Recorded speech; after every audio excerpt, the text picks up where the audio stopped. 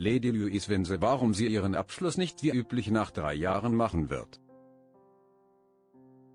Lady Louise Windsor macht sich bereit für ihr drittes Studienjahr an der St. Andrews University.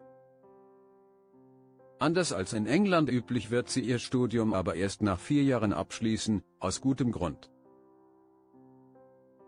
Derzeit dürfte Lady Louise Windsor, 20, noch die letzten Tage ihrer Semesterferien genießen. Schon bald geht es für die Enkelin von Queen Elizabeth, 96. Wieder zurück an die Uni, wo sie ihr drittes Jahr beginnt. Während viele ihrer FreundInnen nach insgesamt drei Jahren ihren Abschluss in der Tasche haben werden, liegen vor ihr jedoch zwei weitere. Lady Louise Windsor studiert in Schottland. Seit 2022 ist die 20-Jährige an der St. Andrews University in Schottland eingeschrieben, wo vor ihr bereits ihr Cousin William, 42, studierte. Sie widmet sich dort der englischen Literatur. Zum Ende ihres Studiums wird sie eine Reihe von Abschlussprüfungen ablegen und eine Dissertation einreichen müssen. Doch anders als in England üblich wird sie dies erst in zwei Jahren machen müssen.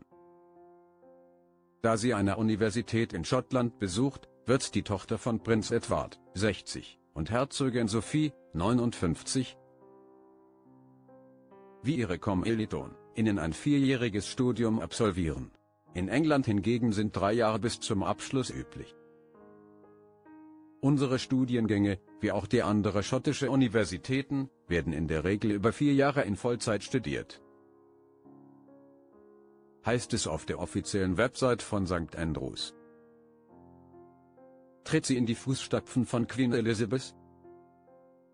Die ersten beiden Jahre ermöglichen den StudentInnen, ein breites Verständnis für das Fach zu erlangen,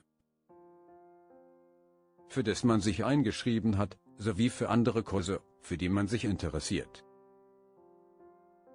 Die letzten beiden Jahre, auch als Honors bekannt, bieten die Möglichkeit, sich auf das oder die gewählten Fächer zu spezialisieren.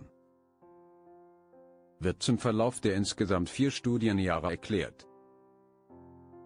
Was ihre Zukunft betrifft, hat die junge Royal offenbar schon genaue Vorstellungen, wie aus ihrem LinkedIn-Profil hervorgeht.